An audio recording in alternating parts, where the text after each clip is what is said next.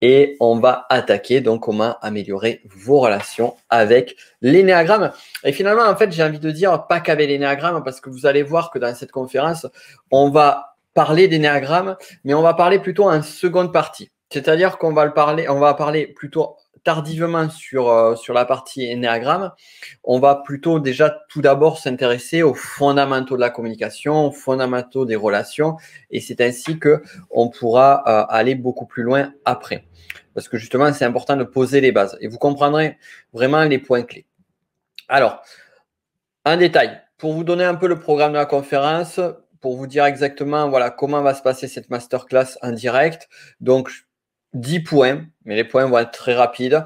Je vais vous faire une présentation rapide de votre autre, c'est-à-dire moi-même. Euh, je vais parler, on va voir la plus grande phobie au monde. Quelle est la plus grande phobie, ou du moins la plus partagée? Vous allez voir, ça va être intéressant et vous verrez le lien ça pour se dire, mais quel est le lien avec, euh, les, avec les relations et la communication? On va le voir plus en détail. Euh, on verra pourquoi nos relations sont si importantes pour nous. Euh, et pas d'un point de vue genre oui, on sait que nos relations sont importantes parce que ceci, ceci, cela. Non, on va voir d'un point de vue plus psychologique et pour ne pas dire instinctif la raison pour laquelle euh, les, les, communications sont, sont, et les relations sont si importantes. Dès lors, on va voir, je vous en, non, je vous avais pas parlé ça, la règle des 50-50, donc y a un des fondamentaux de communication je vous parlerai également un cinquième point de l'histoire, d'une petite histoire très, très intéressante, euh, très riche d'enseignements de Bouddha et l'homme en colère. Ensuite, on verra ça. Par contre, je vous avais annoncé ça, la technique des baskets, la technique des chaussures. Moi, je préfère parler baskets comme ça, un peu plus, un peu plus jeune. Euh, je dis pas le mot jeunes parce qu'en fait, euh, je me suis rendu compte que c'est, on est has-been quand on dit le mot jeunes. Donc, à éviter absolument. Euh, Ensuite, on verra l'importance de l'énéagramme dans vos relations. Donc là, on va aller plus sur l'énéagramme et le lien avec les relations. On va parler des visions du monde et pas de la vision du monde et vos relations. Donc ça, celles et ceux qui connaissent l'énéagramme, vous voyez déjà le lien euh, avec ces deux sujets. Donc, on va aller plus en détail là-dessus. Et enfin, je vous parlerai du technicien Enneagram sur lequel, eh bien, il y aura une surprise pour celles et ceux qui ne sont pas encore membres de la formation. Euh, et enfin, bien évidemment, il y aura la partie réponse aux questions. Alors, la durée de la masterclass, sans la partie questions-réponses, ça va aller, ça va être aux alentours d'une heure. Bon, vous savez que je suis un peu bavard, donc c'est pas impossible que ça soit un peu plus long. Et euh, après, on fera les questions-réponses. Bien évidemment, vous pouvez échanger, vous pouvez euh, laisser vos messages en commentaire. Euh, tant que je peux, j'essaierai d'en afficher les plus, euh, les plus intéressants, les plus pertinents. Je, aussi, ça vous permet d'échanger les uns avec les autres aussi, puisque c'est là pour ça. Je sais que certains d'entre vous sont connectés depuis YouTube, d'autres un peu plus rares depuis Facebook. Et eh bien voilà, on est parti et on a déjà un premier message. Euh, la plus grande phobie, c'est d'avoir peur de ne pas être aimé, d'être rejeté. C'est pas ça. Et attention à faire le distinguo entre phobie et peur. Et euh, d'ailleurs, la peur numéro un, la plus grande peur et la plus grande phobie sont sur la même thématique. On va voir. Allez, on continue. Alors, pour celles et ceux qui ne me connaissent pas, je pense que c'est très peu le cas, vu que finalement, en fait, et d'ailleurs, je vais refaire un petit point sur cette masterclass. Si vous êtes ici, si vous êtes sur cette masterclass, c'est uniquement parce que vous suivez mes mails, que vous êtes parmi les personnes privilégiées de, euh, qui, qui, me suivent de façon régulière. Donc, j'imagine que vous me connaissez déjà plus ou moins.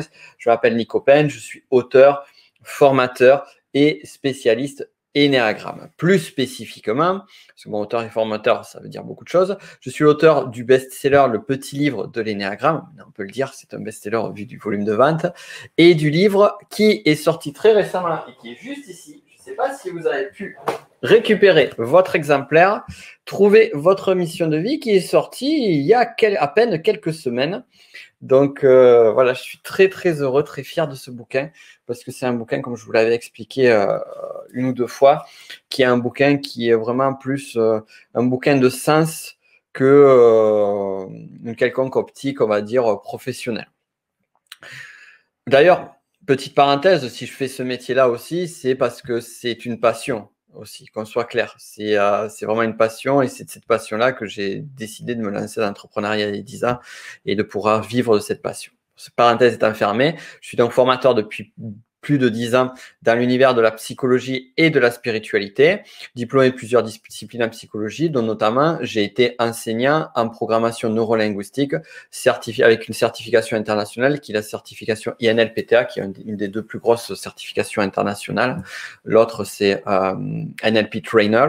Et donc, ce qui fait que je peux euh, former et donner des diplômes jusqu'au euh, maître praticien PNL euh, un petit peu partout dans le monde, chose que je ne fais plus. Pourquoi? Parce que, que j'ai arrêté en 2016 pour me focaliser vraiment au maximum sur l'énéagramme. J'utilise des outils de PNL, on en trouve justement, c'est ceux qui suivent tout particulièrement le tech énéagramme, le master un peu moins sur le tech énéagramme, vous avez des outils de PNL. mais l'énéagramme, c'est tellement fort, tellement puissant qu'il y, y, a vraiment d'autres choses à faire. Et euh, je suis également auteur de la chaîne YouTube Le Décrypteur par Nico Pen, spécialisé en psychologie de la personnalité, qui a dépassé 30 000 abonnés. Je suis assez content. Et plus d'1,9 million de vues à ce jour. On approche des 2 millions.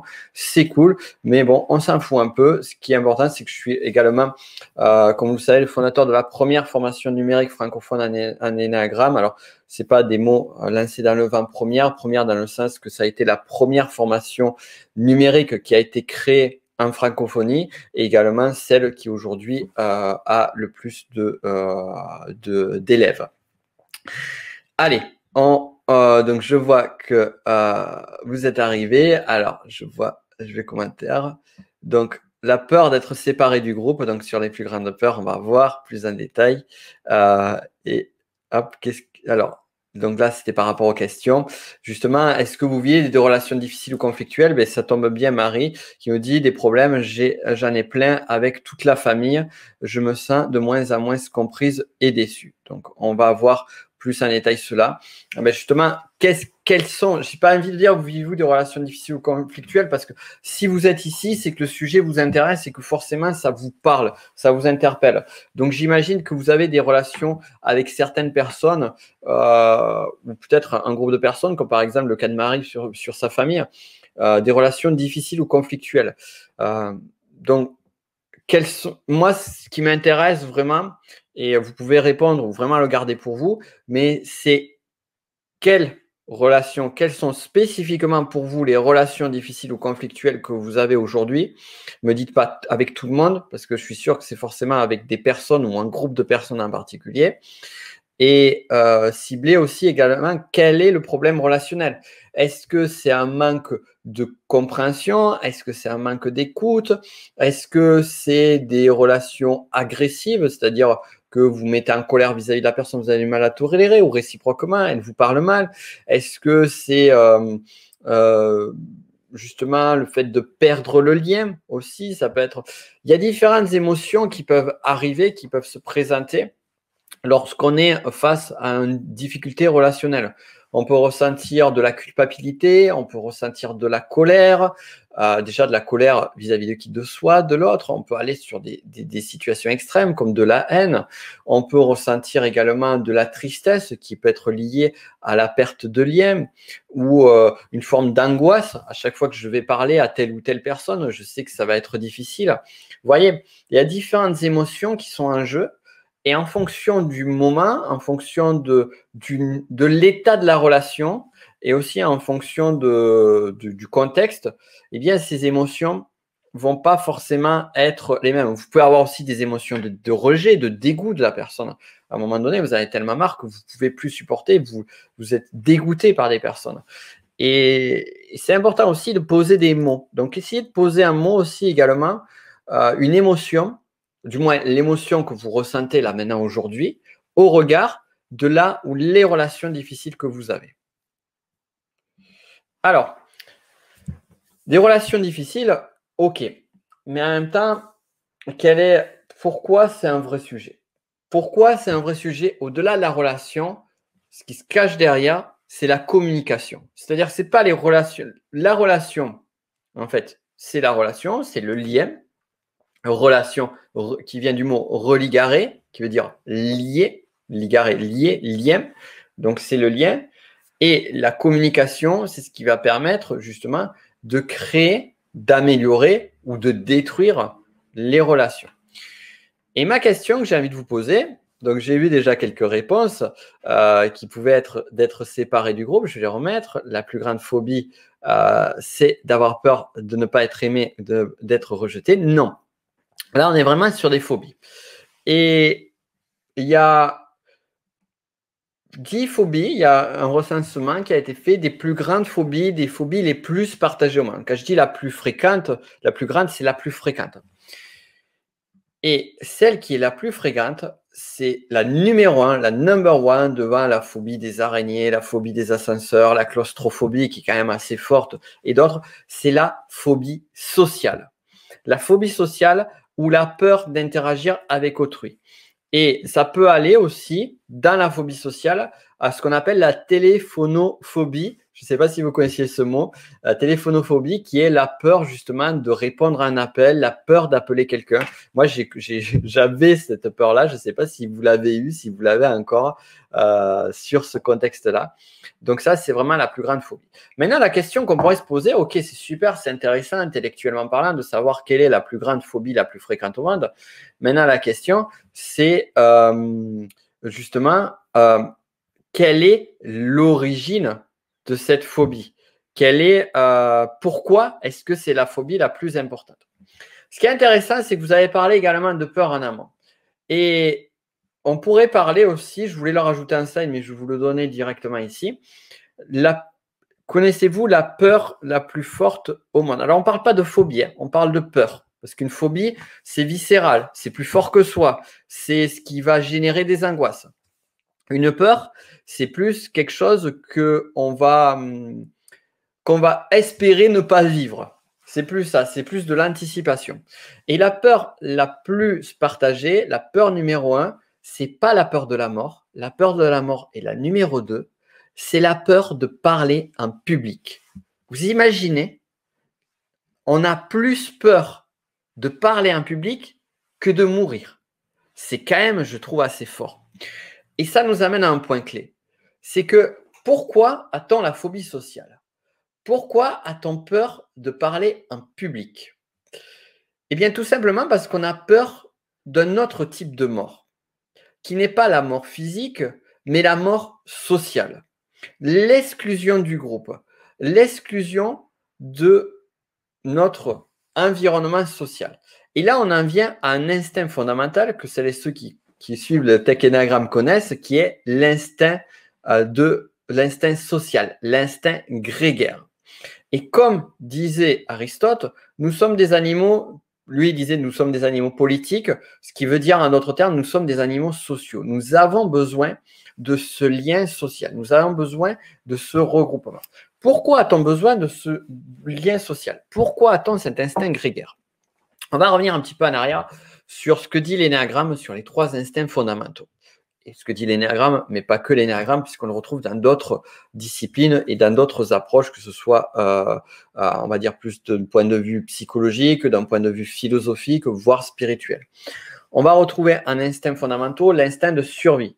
C'est-à-dire qu'à un moment donné, eh bien, euh, si j'ai pas suffisamment à manger, si j'ai pas suffisamment à boire, ben, je vais mourir. Donc, il faut que je gère ma survie le besoin de ressources est lié au besoin de survie. C'est pour ça que l'argent est aussi un, sujet, une thématique aussi viscérale sur beaucoup de personnes.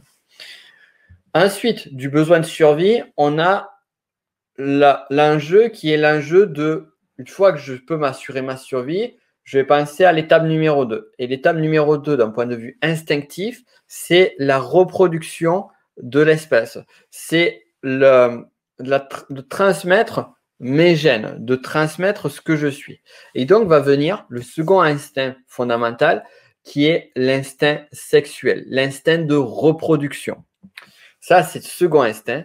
Et ensuite va venir le troisième instinct qui est l'instinct grégaire, l'instinct social. Pour vous dire qu'il est troisième, entre guillemets, mais en même temps super important, il est, euh, si on prend les instincts primaires, un énéagramme, on a chacun et chacun, chacune d'entre nous va avoir un instinct fondamental par rapport aux deux autres. Et euh, on a 40% de la population qui est 45 même, euh, que je ne dise pas de bêtises. Oui, 40, 40, 40, 40% de la population qui a l'instinct primaire de survie qui est le plus exagéré ou le plus euh, problématique. 40% qui a l'instinct euh, de, reproduction, l'instinct sexuel qui est prépondérant donc instinct de survie, instinct sexuel, et enfin 20% pour l'instinct social. Donc c'est un instinct qui est quand même très fondamental et euh, très euh, important. Et pourquoi est-il important? Eh bien tout simplement parce que comme nous sommes des animaux sociaux, nous vivons en société. Et notre survie, notre bonheur même, je dirais même, dépend des autres il dépend pas seulement de nos relations avec les uns et les autres, mais il dépend de euh, justement des personnes qui vont vous fournir l'électricité, des personnes qui vont assurer le travail sur les autoroutes, des personnes avec qui vous allez travailler, du soutien que vous allez avoir de votre famille, du soutien de vos amis. En fait, toute la structure de société est là pour nous aider. On ne se rend pas compte, mais finalement, on peut prendre n'importe quel objet. Vous voyez, par exemple, si on prend cette tasse à café, ben, on sait bien évidemment que, euh, à moins que je m'intéresse à des cours de poterie, c'est pas moi qui ai fait cette tasse à café. Elle a été nécessaire. Et pour créer cette tasse à café, il y a plein de personnes qui étaient derrière pour le créer. Pour le café qui est juste à l'intérieur aussi. Et donc, on a besoin pour assurer ce confort. C'est pour ça que le besoin social est aussi important. Mais c'est vrai que je parle du besoin social, mais quand on parle de relation, on peut se dire, OK, le groupe, OK, on avait vu l'exemple notamment avec le, ce dont nous a parlé Marie des problèmes de famille, mais on a également un autre, donc là, on est vraiment dans un microcosme, dans une société qui est à l'intérieur, qui a ses propres règles, qui a son propre mode de fonctionnement. Donc la sensation d'être exclu d'un groupe qui est un groupe très important pour soi, mais aussi le besoin de reproduction, qui est le besoin sexuel, c'est aussi celui qui va lier notre lien à l'autre, c'est-à-dire notre lien à l'autre, le lien qu'on appelle un tête-à-tête. Et je ne vais pas rentrer en détail de cela parce que là, on irait plus sur euh, ce que l'on voit plus sur le tech énéagramme, mais ce lien-là, c'est un lien de proximité. Et on va le voir forcément sur notre besoin d'être en couple, notre besoin de trouver une compagne ou un compagnon, ou d'améliorer notre relation de couple. Donc c'est là que ça va se jouer, sur ce, sur ce besoin-là. Et en même temps, le besoin de survie aussi, il est très important puisqu'il va être lié au noyau le plus fondamental qui est la famille. Et donc sur la famille, eh bien, on va avoir tout notre entourage. Est-ce que ça va? Est-ce que c'est clair pour vous? Est-ce que vous connaissiez ces concepts-là? Est-ce que ça vous parle? Alors, alors ensuite, euh, on va avoir les commentaires. Alors, Florence qui nous dit euh, qu'il y a eu des difficultés avec une personne qui a traité de négationniste simplement parce que je ne veux pas me faire vacciner. J'ai trouvé ça euh, inadmissible, ce manque de respect.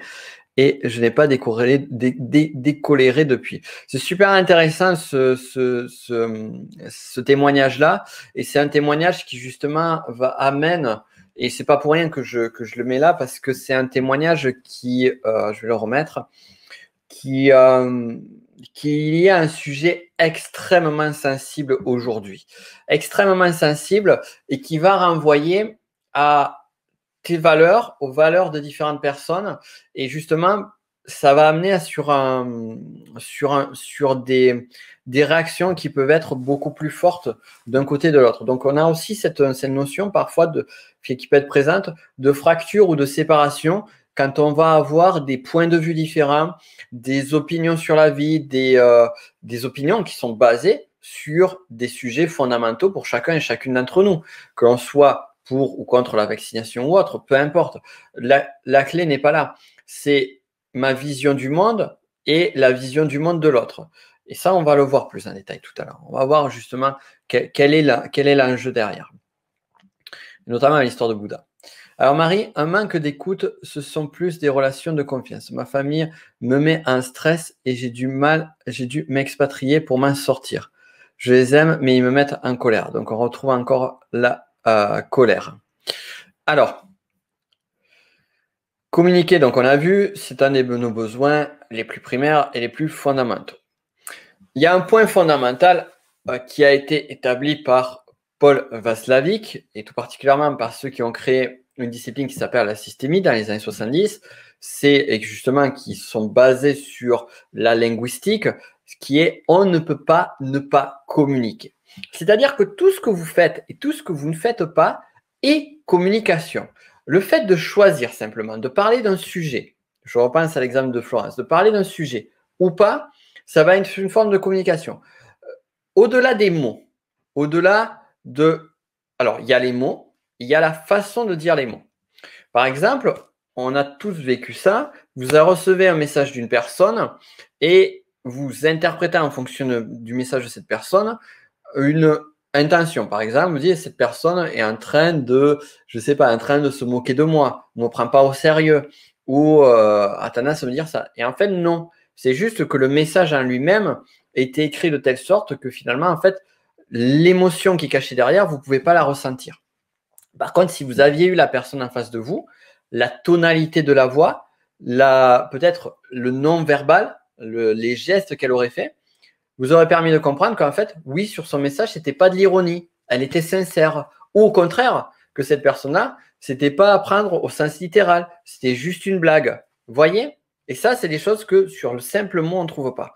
Donc, nos mots, les choix de nos sujets, les... et même le non-verbal, ainsi que l'intonation, qu'on appellera le paraverbal, tout ça va transpirer sur euh, notre façon d'être. Ça, c'est important à se prendre conscience. C'est important à prendre conscience. Pourquoi? Parce que vous avez, nous avons tous notre responsabilité sur nos communications, que ce soit clair. Ce n'est jamais à 100% la, la faute de l'autre. Ce n'est jamais non plus à 100% notre faute. Donc, on n'a pas à culpabiliser, à se dire d'un côté, à être en mode de culpabilisation extrême, c'est ma faute parce que ceci, ceci, cela, parce que l'autre, ceci, ceci, cela, souffre ou quoi que ce soit, souffre en colère ou déçu par rapport à moi. Mais également, accepter aussi que si l'autre a une réponse émotionnelle qui est euh, d'une telle façon, ou si on reçoit les messages d'une telle façon, on a aussi notre part de responsabilité. Et la communication, c'est quoi? Les relations, la communication, c'est deux personnes. Bon, ça va être un groupe, mais à la base, c'est deux personnes. Et deux personnes, en fait, elles ont chacune leur responsabilité. Et c'est là où on vient à la règle des 50-50. C'est-à-dire que 50% de la, communication est apportée par vous, 50% est apporté à l'autre. Ça veut dire qu'il ne faut pas se dédouaner de nos 50%, les assumer, mais aussi avoir conscience qu'on ne maîtrise pas, on ne peut pas contrôler les 50% de l'autre. Donc si l'autre ne veut pas, n'a pas décidé de faire l'effort, n'a pas décidé d'aller dans cette dynamique-là, eh bien, certes, je ne suis pas responsable de ces 50%, de sa réaction. Par exemple, quand je lui dis quelque chose, je ne suis pas responsable de sa réaction. Par contre, je suis responsable de comment je vais réagir. Je ne suis pas responsable de ce qu'il va faire, mais des conséquences de ma réaction. Et de même, je suis responsable de ce qui peut amener à amener sur un état de colère de l'autre côté, un conflit ou autre, ou pas. Et là, à ce moment-là, cette responsabilité-là, ça vous amène à un choix. Dès lors, avant une communication, est-ce que vous souhaitez rentrer en conflit avec cette personne en face de vous ou pas? Ça peut être un choix. Ça peut être un choix qui peut être un choix également euh, de, de raison, dans le sens où finalement vous savez que vous avez besoin à un moment donné d'arriver à un conflit pour justement pouvoir amener une séparation parce que vous le souhaitez. Mais dans la grande majorité des cas, vous avez envie d'éviter justement ces situations de conflit. Et à ce moment-là, vous avez votre propre responsabilité sur ce qui va être amené dans la communication. Mais en même temps, vous n'êtes pas responsable de ce que va amener l'autre. Ça paraît simple, ce que je suis en train de dire là. Ça paraît trivial. Mais croyez-moi que lorsqu'on est pris émotionnellement dans une relation, lorsqu'on est pris émotionnellement dans un nœud, eh bien, ce qui paraît logique va être très vite oublié et ce qui va prendre le dessus, ça va être la part émotionnelle et la, part émotionnelle la plus, on va dire, instinctive. Donc, on pourrait même dire émotionnelle, plus compulsionnelle, je dirais. Ça va, c'est OK? Alors, ben justement, pour étayer tout cela, je vais vous raconter cette histoire de Bouddha que j'ai découvert il n'y a pas longtemps et euh, que je trouve qui est très, euh, qui est très édifiante pour notre sujet. Et pour cela, je bois un peu plus mon cappuccino, macchiato, je ne sais plus, pour vous l'expliquer. Alors, donc vous connaissez notre cher Bouddha, tout zen, tout souriant, tout calme. Il arrive dans une ville et forcément, avec son aura, avec ses différents étudiants, il commence à attirer l'attention des personnes du village. Et en attirant l'attention du village, il récupère de nouveaux étudiants qui sont intéressés, qui sont fascinés par cet homme qui est euh, plein de sagesse, qui est plein de bons conseils. Seulement, un homme du village n'est pas très content, c'est le moins qu'on puisse dire, par rapport à ce personnage. Il a l'impression que ce cher personnage, ce, Bouddha, ce, cet homme, euh, n'est rien d'autre qu'un espèce de gourou qui a de beaux mots, mais qui est en train de détourner la jeunesse de ses responsabilités, de détourner la jeunesse de ce qui est juste. En gros, c'est un trouble fait qui vient poser des soucis dans le village. Dès lors, il se dit, je vais pas, il faut faire quelque chose, je dois faire quelque chose, je dois redonner justice. C'est ceux qui connaissent les néagrammes, on pourrait penser au 8, et je dois redonner justice. Et donc, il arrive face à Bouddha, et fou de colère, fou de rage, il commence à l'insulter. Il commence à le traiter de tous les noms. Il commence à décharger sa haine, sa rage, presque à lui cracher au visage. Comment répondriez-vous face à un homme qui arrive avec une énergie aussi hystérique face à vous? Il y a plusieurs réponses possibles. La première, c'est de contre-attaquer. Il arrive, il me menace. En plus, je suis face à mes étudiants, donc je vais être moi aussi, je ne vais pas me laisser faire. La seconde, ça pourrait être faire profil bas. Donc, euh, pour éviter que le conflit s'envenime, pour éviter qu'il s'énerve encore plus. La troisième, ça pourrait être carrément l'évitement. C'est-à-dire dire, ouais, oui, oui, bon, ok, tu as raison, allez, au revoir. Et s'en aller. Ou faire en sorte que le personnage puisse s'en aller. Bien, ce qu'a fait Bouddha, déjà, la question c'est comment auriez-vous réagi à la place de Bouddha? Ce qu'il a fait, lui, c'est tout simplement, il a regardé, il a regardé avec un visage de compassion sans rien faire, sans rien dire, il a laissé partir. Il a laissé déverser sa colère. Au bout d'un moment, à force d'avoir cette non-réaction, ou du moins cette réaction surprenante euh, et, agaçante, l'homme s'en va. Il quitte la salle. Il reste là-dessus et se passe une nuit. Et toute la nuit, il ne cesse de penser à la réaction de Bouddha pourquoi est-ce qu'il a répondu comme ça? Pourquoi est-ce qu'il ne m'a pas répondu? Pourquoi est-ce qu'il ne s'est pas suis Pourquoi? C'est pas logique C'est pas normal. Qu'est-ce qui se passe? Pourquoi est-ce qu'il fait ça, cet homme? Qu'est-ce qu'il me veut?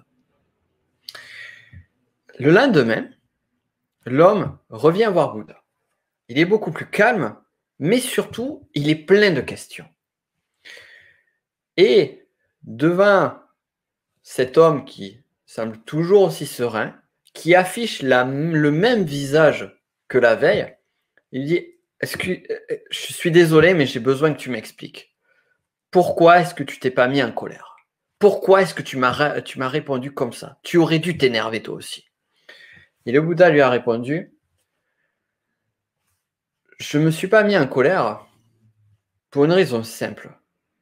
C'est que ce que tu m'as déversé, cette rage, cette colère, c'est pas la mienne, c'est la tienne.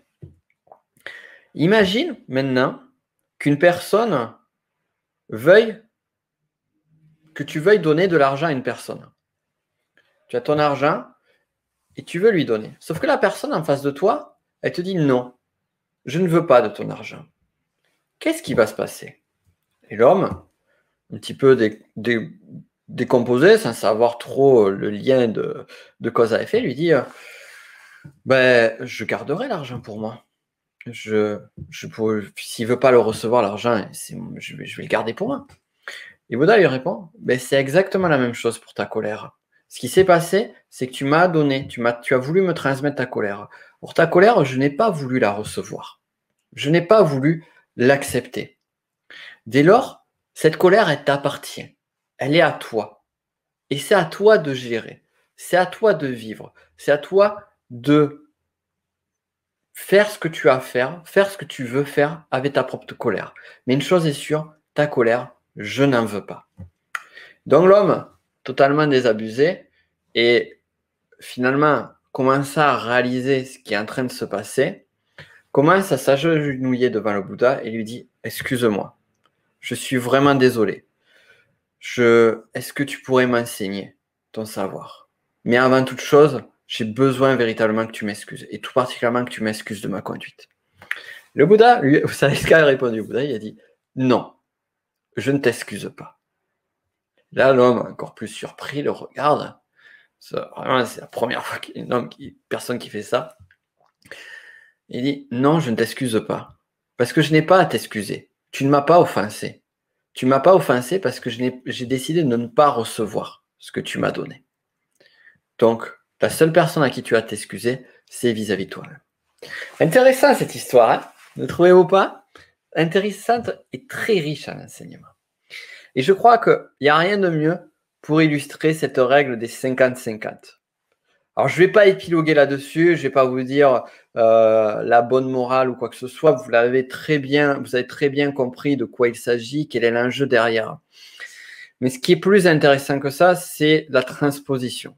La transposition de cette situation, de cette histoire à la nôtre, à notre vie.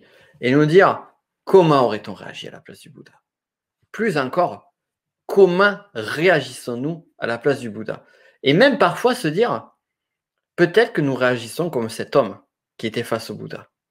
Et à ce moment-là, peut-être que ce que l'on amène à l'autre, ça nous appartient aussi. Je vous laisse méditer là-dessus, mais rassurez-vous, on n'a pas fini. Ce qui est important aussi à comprendre, et là on va arriver à la phase numéro 2, qui est que notre réalité n'est pas la réalité. Et rien n'a été aussi vrai qu'aujourd'hui où on sent que justement dans notre environnement de tous les jours, où on sent que dans nos relations, il y a une fracture qui est en train de se mettre en place. Hélas. Pourquoi? Parce que nous sommes dans une situation euh, qui est aujourd'hui, avec tout ce que l'on vit, euh, c'est depuis euh, plus d'un an et demi, nous sommes dans une situation qui est une situation où on est dans un niveau de stress très fort. On est dans un niveau de stress très fort. On est vraiment sur des situations, sur un style de vie, sur quelque chose qu'on n'a jamais vécu jusqu'alors. Et dès lors, on est obligé d'aller chercher dans nos ressources. Sauf que ce qui veut dire d'aller chercher dans nos ressources va également aller chercher dans nos points, on va dire, les plus blessés, les points aussi qui sont liés à nos valeurs de vie, à notre façon de voir le monde. Et c'est là où finalement, eh bien, il va, ça va amener justement une cristallisation beaucoup plus forte de tout le stress que l'on peut vivre. Et chacun et chacune d'entre nous va vivre un stress différent au vu de la situation qui va être lié, encore une fois, à sa propre réalité et donc à tout ce qui est en découle. Et ce qu'il est important, une des clés, c'est la technique. Alors pourquoi je l'ai mis là? Je vous fais un petit parenthèse. Ouais, je comprends pourquoi j'ai mis là. J'aurais pu la mettre un peu plus loin, mais j'ai mis là. Ce qui va vous aider justement, c'est la. Moi, je vais, je vais le faire après. Je vais le faire après. Voyons voir. Voilà, c'est celui-là qu'on aurait dû avoir. Le mot-clé qui nous intéresse ici, c'est la vision du monde. Ça, c'est un mot fondamental qu'on va retrouver dans l'énéagramme. C'est un mot fondamental parce qu'il est lié justement à notre façon de voir le monde, notre façon de voir la vie.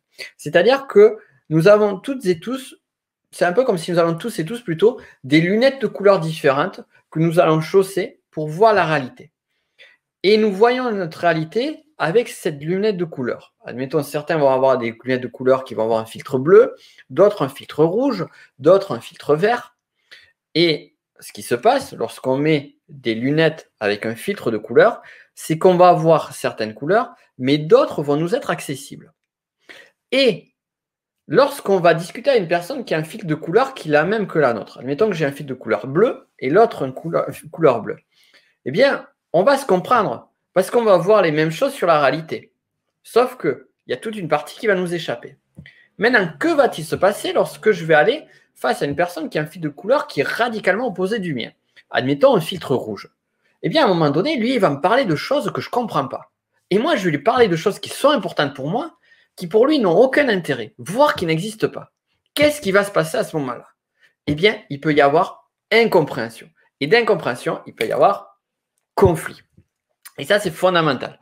C'est pour ça que l'énéagramme va beaucoup nous aider. Mais avant cela, on va venir sur une technique justement qui va nous aider à mieux comprendre, à mieux accepter la vision du monde de l'autre.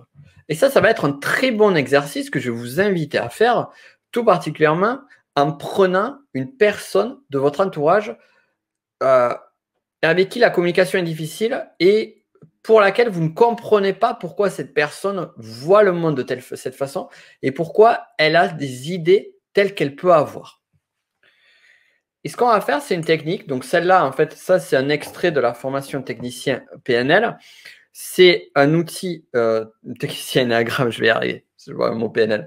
C'est un extrait de la, formation technicien Enneagram parce que sur la formation technicien Enneagram, petite parenthèse, je vous ai mis, sans forcément que vous connaissiez la PNL ou pas, on s'en fout, c'est pas le plus important. Ça, c'est la pédagogie qui fait le travail, mais euh, quelques outils de PNL qui peuvent vous aider, qui peuvent justement aider. Et pas que des outils de PNL d'ailleurs. Dans, dans Tech Enneagram, vous avez plein d'outils différents qui vous permettent de travailler. Parce que l'Enneagram, c'est un outil de typage de profil de personnalité, mais il y a une chose, c'est connaître son type de personnalité, connaître sa base, connaître ses profits des autres, et après pouvoir travailler dessus. Ça, c'est tout autre chose. Et les positions de perception, pour revenir à la PNL, la programmation neurolinguistique, c'est qu'en fait, on a plusieurs choses qui sont. Vous avez vous et lui, elle, c'est-à-dire votre interlocuteur avec qui la relation se fait mal. Et très souvent, on a tendance à voir les choses selon notre propre point de vue, selon nos propres lunettes, c'est-à-dire selon nos propres chaussures. On est dans nos chaussures. On enlève les lunettes, on se met dans les chaussures, madame. Vous avez vos propres chaussures. Mais à aucun moment, même si on fait preuve d'empathie, même si on fait preuve de sympathie vis-à-vis de l'autre, à aucun moment, on est dans euh, cette partie où finalement, on va se mettre à la place de l'autre. Alors, se mettre à la place de l'autre, dire oui, je comprends qu'il est en colère, je ressens qu'il est triste, mais c'est pas ça. C'est plus profond que ça. C'est pourquoi est-ce que l'autre pense ce qu'il pense? Pourquoi est-ce que l'autre ressent ce qu'il ressent? Pourquoi est-ce que l'autre agit comme il agit? Et dès lors, comprendre les motivations profondes qui sont cachées derrière. Et pour ça, l'énéagramme est super intéressant. Vous allez voir, je vais vous donner quelques exemples juste après. Parce que ça nous permet d'avoir une grille de lecture beaucoup plus fine de la façon dont l'autre voit le monde. Parce qu'elle m'est cachée.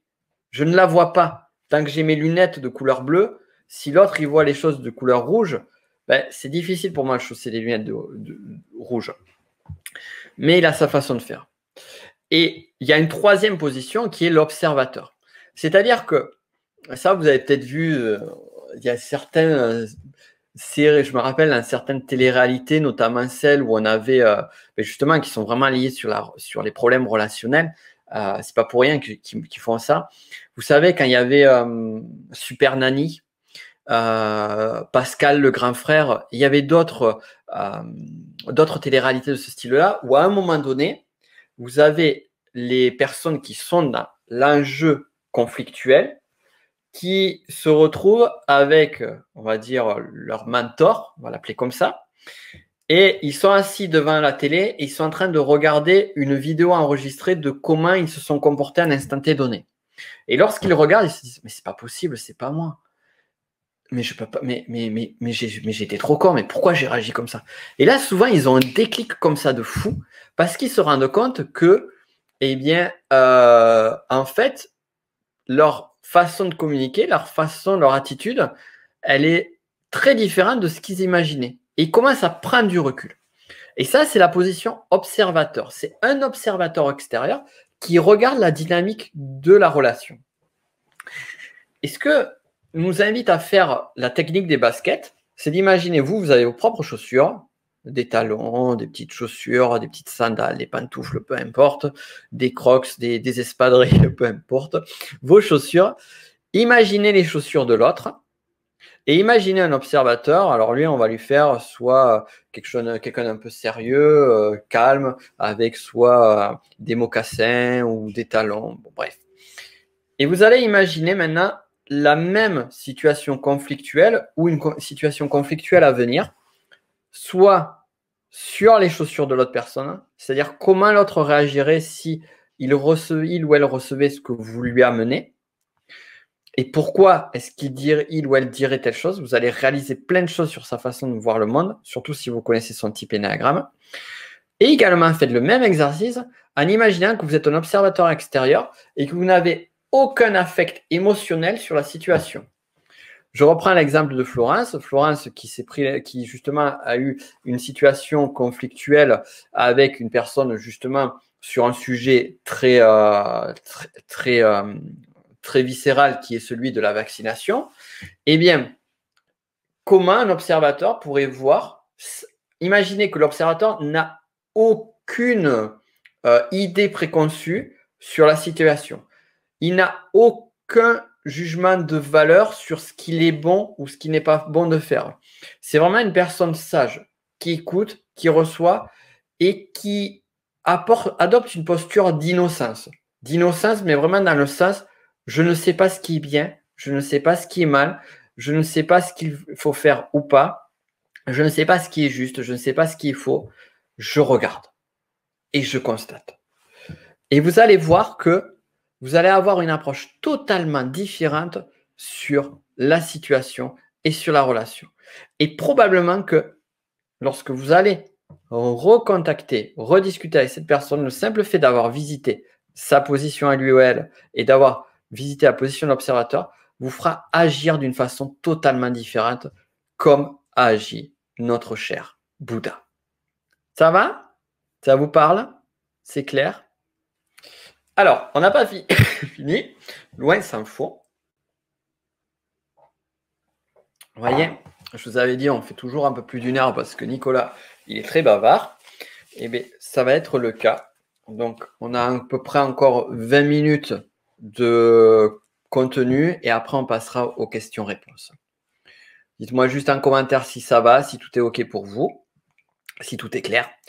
Et maintenant, ce qu'on va faire, c'est qu'on va rajouter, donc comme je vous l'avais expliqué, comme je l'avais dit au départ, euh, en présentation, on allait poser les bases. Il était nécessaire, il était fondamental de poser les bases en communication, de poser les bases sur une dynamique relationnelle, tout en prenant en considération l'aspect émotionnel qui est caché derrière, pour ensuite, une fois que les bases sont bien posées, et là elles sont largement posées puisqu'on est allé plus loin avec justement des outils pour nous aider à travailler, notamment les 50-50, la réflexion, euh, méditation, on va dire, euh, euh, sur l'histoire de Bouddha, la technique des baskets avec les positions de perception.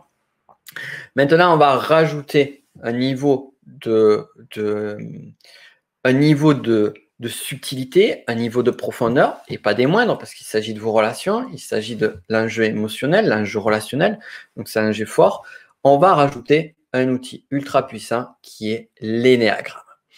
Alors, l'énéagramme, nous avons donc les neuf profils. Alors, je vais y aller très vite puisque si vous regardez cette conférence, ben, c'est que vous connaissez, ne serait-ce que par euh, les contenus que je vous ai déjà donnés, vous connaissez déjà, euh, et puis parce que vous avez cherché à droite et à gauche sur Internet et ailleurs, euh, vous connaissez l'énéagramme, vous connaissez donc la psychologie de la personnalité, quelques fondamentaux pour rappel sur l'énéagramme, on n'a qu'un seul et unique profil énagramme, on n'a qu'un seul et unique base de personnalité. Pourquoi? Parce que ça se crée très tôt dans l'enfance.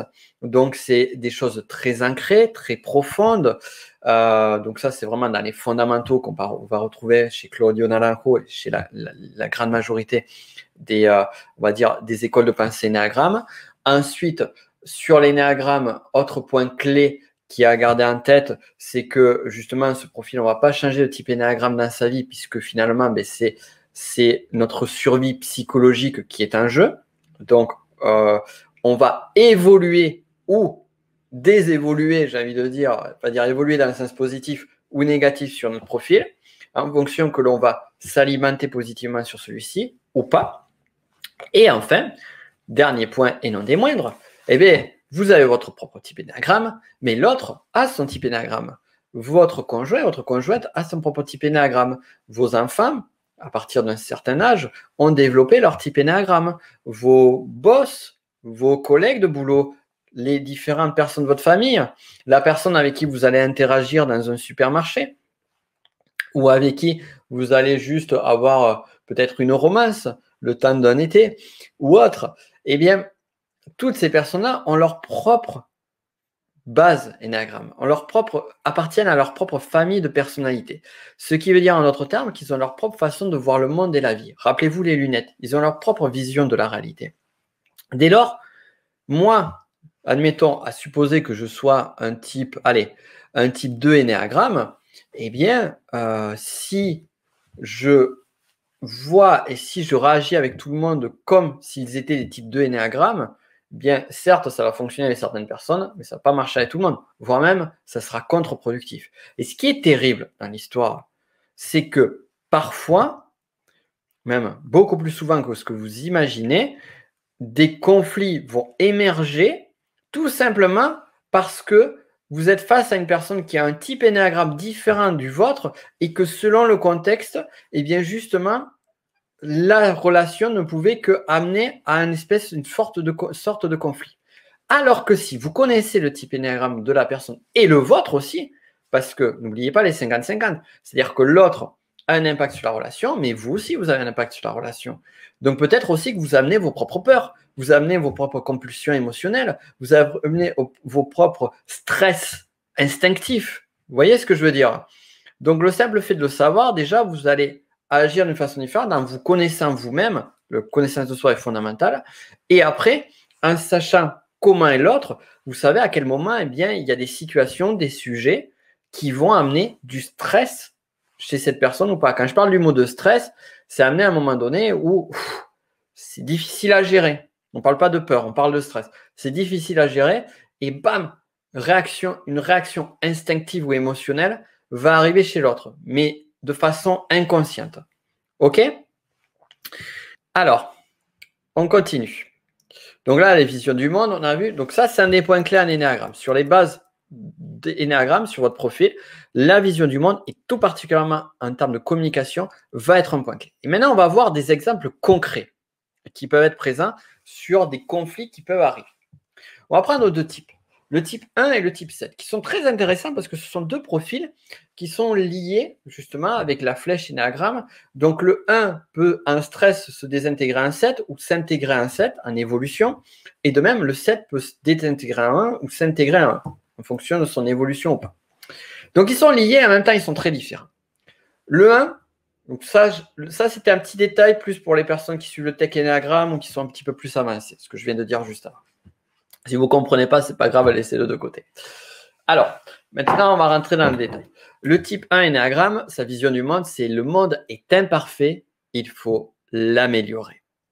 Et donc, c'est quelqu'un qui va généralement favoriser le travail au plaisir. Je dois bien faire les choses, je dois faire les choses telles qu'on les attend de moi, et après, je m'autoriserai du plaisir.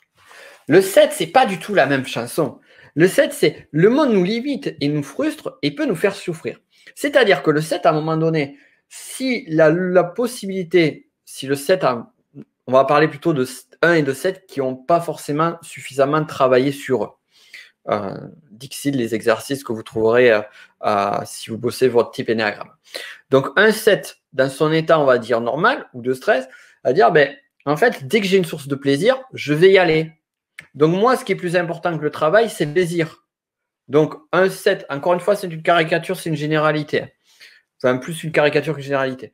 Donc le 7 va plus allier plaisir que travail. Mais qu'est-ce qui va se passer dans un milieu, par exemple, relationnel, professionnel, autre, quand un 1 va faire énormément d'efforts, va avoir l'impression de faire énormément d'efforts, se sacrifier parce qu'il faut bien faire les choses, et ils vont regarder le 7 qui lui va s'éclater ça et là, et dire oui, oui, on va le faire, oui, t'inquiète pas, et va rationaliser tous les efforts ou tous les mises en garde que va donner le 1 Sachant que le 1, ça va l'énerver, ça va l'agacer.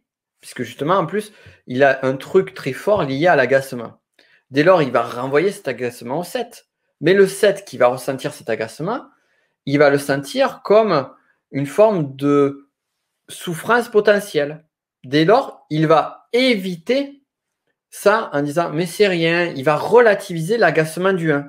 Et finalement, inconsciemment, ça s'en rend compte ne pas le prendre en considération.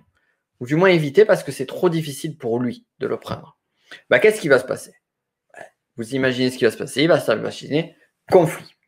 Alors que si moi je suis 1 et que je sais que l'autre est 7, eh bien du coup, je sais ce qui se passe. Et même, je sais comment parler, je sais comment aborder les choses de telle sorte que le 7 puisse peut-être à un moment donné aller plus dans le travail et me soutenir sans forcément au contraire le faire fuir. Parce que le mécanisme par défaut du type 1 va plus faire fuir le 7 qu'autre chose. Encore une fois, gardez en tête, c'est une généralité ce que je vous dis là. Ce n'est pas à prendre en compte euh, sur toutes les relations. Et de même, si moi je suis 7 et que je vois que l'autre est 1, eh bien peut-être que je vais me rendre compte que s'il y a un agacement à un moment donné, c'est que la personne qui est un type 1 est en phase de stress. Et si je veux moi-même éviter un état de souffrance future, eh bien, je vais faire en sorte peut-être de voir comment je peux appuyer l'autre ou peut-être arriver à relâcher la pression qu'a l'autre. Donc, voyez ce que ça donne. Et euh, donc, ça, c'est la vision du monde du 1 et du 7. Et ensuite, vous avez le type 4. Donc, pour un autre exemple, le type 4 et le type 9, qui, là aussi, on peut trouver des conflits. Qui peut être, par exemple, le 4, c'est les êtres humains souffrent de ne plus être reliés au reste du monde. Le type 4 a besoin de vivre ses émotions, a besoin de ressentir, a besoin finalement de ne pas avoir un, électrogramme euh, plat sur ses émotions. Le 4 a besoin de sentir des émotions fortes, de vivre des émotions fortes. Et il ne s'en rend pas compte. S'il ne connaît pas son type 4, et plus encore s'il n'a pas travaillé son type 4, eh bien il va être esclave de ce besoin de sensations fortes émotionnelles. C'est-à-dire une sensation forte, que je parle de sensation forte, c'est aussi bien positif que négatif. Le 9, quant à lui, c'est pas la même c'est pas la même mayonnaise comme on dit. Le 9 c'est le monde des sources de conflits. Il vaut mieux ne pas faire de vagues. Le 9 va rechercher l'harmonie, le calme, la tranquillité. Dès lors, ce qui peut être un peu trop stressant émotionnellement, ce qui peut amener justement trop de tristesse, trop de conflits, ben, il va essayer d'éviter ça. Et justement, pour éviter les conflits, il va chercher à être dans une forme de paix, dans une forme d'habitude, dans une forme de routine, dans une forme de train-train. Donc, les relations de 4 et 9, on peut avoir des très belles relations de couple. Je connais, notamment, j'ai un couple d'amis qui sont 4 et 9, mais justement, ils ont une magnifique relation de couple parce que justement, ils connaissent leur type énagramme et le type de l'autre et qui savent leurs besoins. Mais ce qui peut arriver parfois sur un 4 et sur un 9, c'est que le 4, au bout d'un moment, il va s'ennuyer. Il va sentir s'éteindre émotionnellement. Et il va avoir besoin d'intensité. Et en même temps, il va confronter le 9 qui, justement, lui, veut son harmonie. Donc le 9, il va encore plus s'enfermer dans euh, son propre état de tranquillité, justement pour éviter ce stress que peut amener le 4. Et le 4, en même temps, va avoir besoin d'intensité parce que le calme va amener du stress. Donc vous voyez, c'est intéressant parce que finalement, ce qui va apporter le bien-être de l'un va amener le stress de l'autre et vice-versa. Et ça, c'est pas. Qu'est-ce que ça veut dire? Ça veut pas dire qu'on soit clair. Ça aussi, c'est un des fondamentaux que j'aurais dû vous donner en amont. Il n'y a pas de type énéagramme incompatible. Ça, ça, ça n'existe pas. Il y a, par contre, en fonction de votre histoire de vie, en fonction de vos valeurs, en fonction de votre type énéagramme, en fonction d'une multitude de sujets qui composent votre identité, votre personnalité, selon un type de relation, il y aura un type énagramme avec qui ça sera plus facile que d'autres. Peut-être que par exemple, vous aurez tendance à avoir des amis qui auront tendance à être souvent du même type énagramme, voire du même instinctif. Euh, même instinctif, instinctif, ça c'est plus survie, tête à tête sociale. ça, c'est un autre sujet. C'est pour ceux qui sont euh, sur tech et plus. Euh, donc, il y a ce point-là. Mais également, j'ai perdu le fil de la, pensée. Elle va revenir. Donc, ça en fonction de la relation, en fonction du sujet, par exemple des relations amoureuses, peut-être que vous allez privilégier plus tel ou tel type énéagramme. Peut-être que vous allez éviter absolument tel type énéagramme parce que vous avez vécu des histoires par le passé qui ont été des histoires qui ont été traumatisantes d'un point de vue relationnel. Mais finalement, ce n'est pas ça le plus important. Le plus important, c'est d'apprendre à vous connaître vraiment, de savoir comment vous fonctionnez, de savoir ce qui vous met en stress ou pas. En fonction de ce qui vous met en stress ou pas, eh bien justement, amener ce que vous avez amené sur la communication, sur la relation, et en même temps avoir conscience de comment est l'autre, de comment il voit le monde, de comment il interagit avec le monde, de quel est son niveau d'évolution aussi par rapport à son type de personnalité, et en fonction de ça, faire en sorte qu'il puisse y avoir une harmonie, un équilibre, une danse relationnelle entre vous et l'autre, qui soit une danse relationnelle qui soit synchronisée.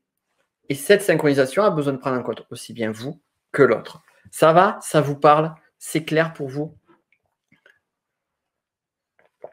Un point clé qui est, avant de passer à la suite, qui est de prendre aussi, prenez vos responsabilités. C'est-à-dire que on est responsable dans la communication. On a parlé 50-50, vous êtes responsable également, vous êtes responsable dans le fait de, on parle de personnes toxiques aussi, de garder des personnes toxiques ou pas dans votre entourage, de garder des personnes qui ne vous enrichissent pas, de garder des personnes qui ont tendance à plus vous détruire que vous construire. Prenez également vos responsabilités. Vous êtes responsable si vous avez une relation avec une personne, que cette personne vous l'aimez et euh, que finalement la relation n'est pas au beau fixe. Vous êtes responsable aussi de faire fuir certaines personnes. Vous êtes responsable également du fait d'attirer plus tel type de personnes que d'autres. Vos attitudes, votre façon d'être, votre façon de faire, tout ça a un impact. Vous n'êtes pas responsable de comment l'autre va répondre. Vous n'êtes pas responsable de comment l'autre va gérer ce qu'il a, à, ce comment il va vivre l'interaction avec vous. Mais vous êtes responsable de ce que vous amenez sur, sur, sur le paquet. Parce qu'on a tendance, j'ai trop vu ça, j'ai beaucoup trop vu ça. Les personnes disent c'est pas ma faute, c'est l'autre, c'est l'autre qui est un con, une conne. Euh, on a une grande mode aussi qui, qui est de finalement de alors que s'il y a un vrai sujet, il y a un vrai enjeu, il y a un vrai enjeu profond là-dessus, et une vraie souffrance de ce mot-clé de pervers narcissique. Mais c'est devenu à un point où finalement on arrive à une mode où finalement dès qu'une personne nous a fait un minimum de mal, c'est un ou une pervers narcissique. Non, il faut aller un petit peu plus loin que ça. Il est important de regarder, oui, peut-être la personne est mauvaise, oui, peut-être la personne n'est pas bonne, mais on est aussi responsable. Et on est responsable du fait de garder ces personnes-là dans notre vie ou pas. Et on est responsable de euh, notre relation et aussi et surtout, on est responsable, vous êtes responsable de l'impact qu'une relation peut avoir sur l'entourage. N'oubliez pas que vous n'êtes pas que deux. Il n'y a pas que vous et il y a l'autre. Il y a aussi toutes les personnes qui gravitent autour. Et donc ça aussi, c'est important de prendre ça en considération. L'autre point, c'est prenez soin de vos relations. Prenez soin, donnez, donnez de l'amour, j'ai envie de dire. Donnez de l'amour avec un grand A et de l'amour désintéressé. Et vraiment, faites-le de façon saine. C'est-à-dire que ce soit dans une dynamique où vous n'avez pas l'impression de de le faire par force ou de le faire comme si ça vous enlevait quelque chose. Ça, c'est important. Le secret vraiment que vous devez retenir, c'est dans vos relations, c'est que la solution à vos problèmes relationnels, à vos problèmes de communication, elle n'est pas à l'extérieur. Certes, il y, a des, il y, a des, personnes parasites, comme on a dit à l'avant. Certes, il y a des personnes euh, avec qui finalement ça marchait pas d'un moment, mais aujourd'hui ça marche plus. Certes, il y a des personnes que vous devez éviter. Certes, il y a des personnes, comme par exemple Bouddha, avec l'histoire de l'homme en colère, que vous allez rencontrer et avec qui vous n'avez rien à faire. Mais vous serez obligé de vous confronter à ça. Souvent, on se dit, on a des problèmes relationnels. Vous savez, je vois ça dans, la partie professionnelle, on se dit, on a un problème relationnel avec une personne. Et finalement, à un moment donné, ça s'envenime tellement qu'on se dit, je vais quitter de boulot pour plus vivre ça. Et vous quittez de boulot et vous changez de boulot et vous arrivez sur un autre job. Et là, dans cet autre job, vous rencontrez finalement d'autres personnes, ça se passe bien au début. Et puis, boum, comme ça, du jour au lendemain, vous avez une personne qui commence à vous créer des problèmes. Et qu'est-ce que vous dites? Ah, mais c'est bon, ben, ça va passer. Et puis au bout d'un moment, ça continue, ça continue. Et dites, ben, je vais changer de job. Vous changez de job. Et rebelote. Et encore, et encore, et encore. Vous rencontrerez forcément, toujours, à un moment donné, une personne qui vous énerve. Une personne avec qui le courant ne passera pas. Une personne avec qui la relation ne peut pas se faire. Une personne qui ne veut pas avoir une communication saine avec vous. Parfois, c'est personnes qui veulent avoir une communication avec vous, mais qu'elles soient, euh, vous savez, avec une espèce de souffler le chaud et le froid, ou ce genre de choses-là. Ou d'autres qui ne vous supportent pas. On ne peut pas plaire à tout le monde. Ça, c'est clair. Mais on est obligé de le. On sera toujours confronté à ça. Et la clé, c'est voilà, c'est vous pouvez pas être dans un monde idéal, utopique où vous n'aurez que des gens gentils, bisounours ou autres. D'ailleurs, peut-être qu'à vous en donner un bisounours, si vous saoulerez.